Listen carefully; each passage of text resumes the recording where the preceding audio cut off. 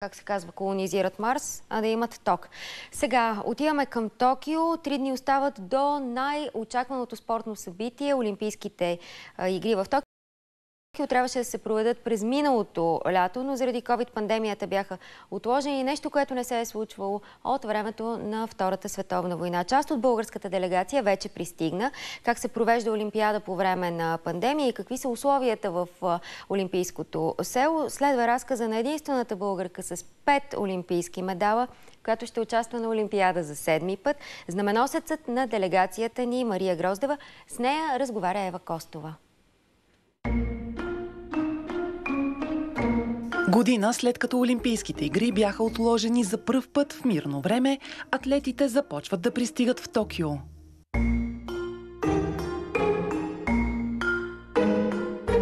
От 23 юли повече от 11 000 спортисти от над 200 държави ще се състезават в 33 спорта, а единствената българка с 5 олимпийски медала, Мария Гроздева, отново ще бъде сред тях. Дали са първи, втори или трети олимпийски игри, няма кой знае какво значение. Въпросът е в деня, в който стрелям да, да съм внимателна, сръоточена. Шампионка по спортна стрелба от Сидни 2000-та година и Атина 2004 Мария Гроздева има и три бронзови отличия от Барселона, Атланта и Атина. Олимпиадата в Токио е седма за нея. Националният трибагреник на церемонията по откриването ще развее именно тя. За втори път. Първият преди 17 години на игрите в гръцката столица. Тази олимпиада, обаче казва ни, е различна от всяка друга до сега. От летището на, на всеки 5 метра има доброволци, които ни вкарват в едни коридори. А, първото нещо, разбира се, е PCR да ни направят. След това всички проверки, приложения, които сме сложили за относно коронавируса. От летището състезателите пристигат в Олимпийското село.